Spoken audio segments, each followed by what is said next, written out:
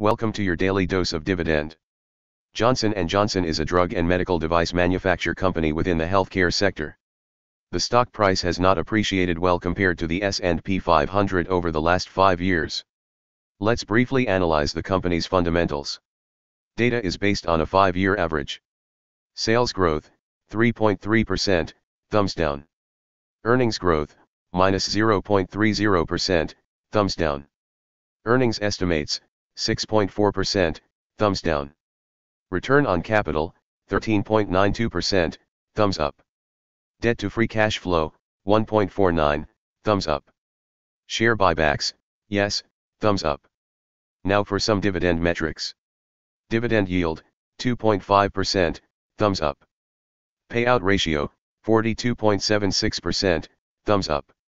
Growth rate, 5.87%, thumbs up. Growth years, 59 years, thumbs up. 7 out of 10 thumbs up, not too bad. You might want to look closer on Johnson & Johnson for your dividend portfolio. Don't forget to subscribe and tune in tomorrow for another quick analysis. Have a nice day.